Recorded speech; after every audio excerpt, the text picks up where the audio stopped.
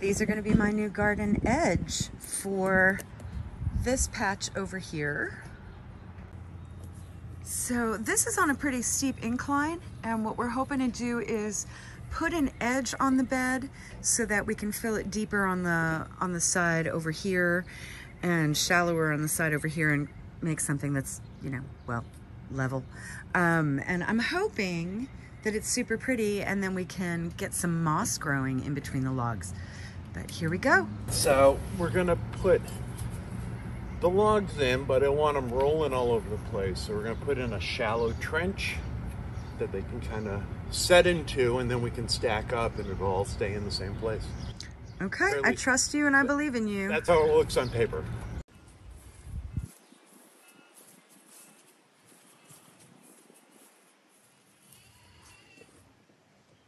Lort, we have so much going on here. Good morning. Welcome home to Mailer's Landing. I'm Sue and we are here in Growing Zone 6B in New England. And we have passed our last frost date, thank goodness. Um, and we did it with, my goodness, two days of intense heat during which I had my tomatoes hardening off over here. So today we're gonna try and get them into the garden. Woo! Um, and I just can't wait. I'm so thrilled about this. Let me show you what's going on. We have this mushroom thing that is just stealing my heart. I'm sure it came in with the brown cow mulch. I thought for sure with all the heat over the last couple of days that these would dry up and die, but they have not. And it looks like the rainstorm just reinvigorated them. It gives it this kind of fairy tale feel. The original plan was the peas would come up, they would be just about spent, and then I'd put my tomatoes in. That's not what's going to happen. The peas need some time. They haven't even started to fruit yet. So clearly we're gonna be intercropping our tomatoes and our peas together. I'm gonna just be really, really careful when I put the tomatoes in. They will be planted much, much deeper than the peas, so hopefully this won't be a problem.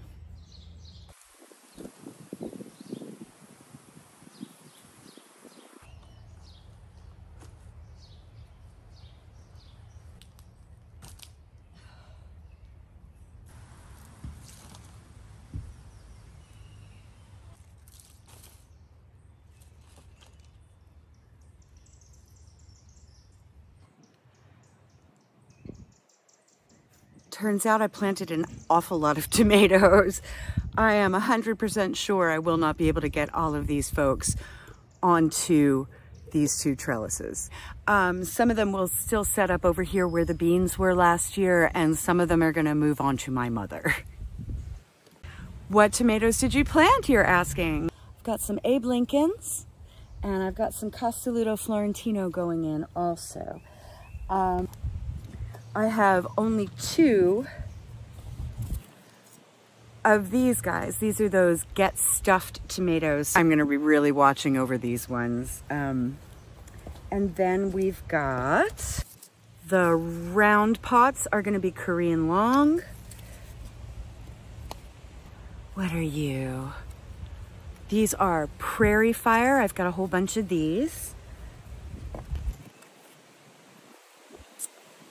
Uh, let's see what else. Oh, oh, oh, spoon tomatoes. These are supposed to bear tiny little caviar-like tomatoes. I can't wait to see how these come up. And then what else have we got here? I picked up a couple of black Krims at the Cotyledon Farms sale yesterday, so I'm looking forward to those. I don't know off the top of my head which ones are determinants and which ones are indeterminants. So I may be putting up more support for tomatoes as we go forward. But today is just about getting them into the ground. The last two days were roasting hot and then we got a half inch of rain overnight in like this violent, delicious storm. And so the ground is nice and soft and soaked and I'm really looking forward to getting these folks in the ground. I think the trickiest part of this is going to be digging holes without disturbing the peas. I feel like I'm up to the challenge, though.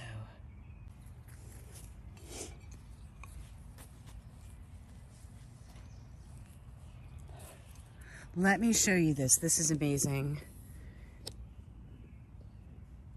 Do you see these beautiful stripes in here, this gray material? This, this is all mycorrhizal business in there. So we've got nice healthy soil and it also explains the mushrooms. So yeah, we've got lots of this good healthy mycorrhizal inoculant in the soil already, which is going to help with the roots. So with tomatoes, you want to dig a nice deep hole any part of this stem that goes beneath the dirt is going to root out and give us a nice strong tomato. So what I'm gonna do is try and bury them up to about here. And I'm gonna take these leaves off. We're gonna make sure no leaves are touching the ground.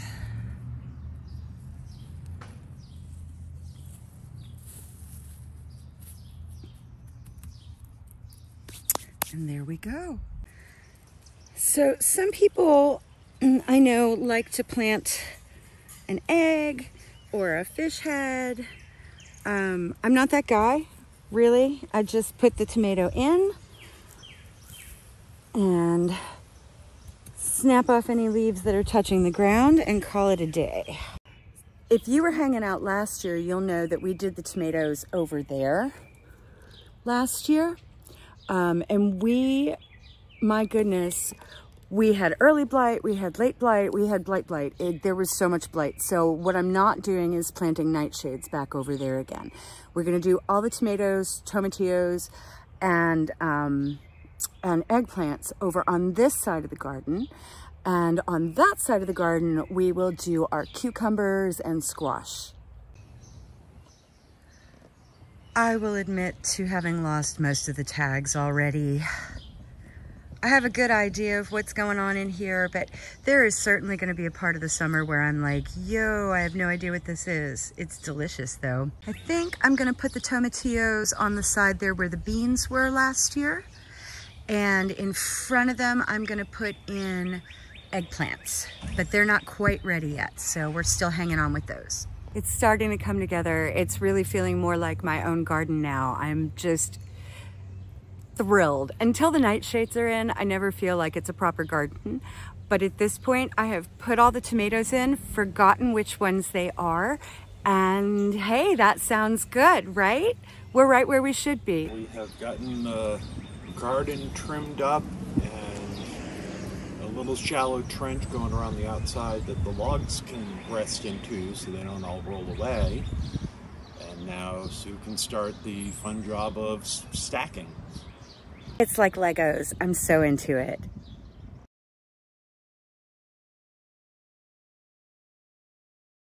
Last year we had the okra and the sunflowers in here and I am so looking forward to having them there again. It's this beautiful bright splash of colors that you can see coming out from the street and I just, I just love it. So let's do that again this year. Three trailerfuls of logs, large, medium, small, and uh, I'm gonna try to, once it gets cooler, so in, in the autumn, I'm gonna try to encourage a little moss along there. That'll be pretty. What do you think? Sounds good to me. Moss or mushrooms? Maybe mushrooms. We'll see. And then okra and more sunflowers. Maybe some nasturtium. I am nasturtium mad this year. I just can't get enough of them. So I'll probably be tucking some nasturtium seeds in there too. Um, we can tuck them between the logs. Oh, like put a little dirt in and yeah. maybe we'll do that. Ooh. All right, I'll start some, I'll start some more seeds. Gosh, what a trial. I'll have to start more nasturtium seeds. Mm. So rough, so rough. So this should level the whole thing off. We're gonna need quite a bit of fill down there at the low end, but not very much over here. We're gonna give it a few weeks before we fill this and let those plants that are in there right now get a little bit taller. So that's where we are. Tomatoes are in, tomatillos are in, and this bed is built. So I'd say that's pretty good. On to the next project. On to the next project. Thank you so much for hanging out with us today while we got this put together, and we will catch you up soon. Take care. Bye-bye.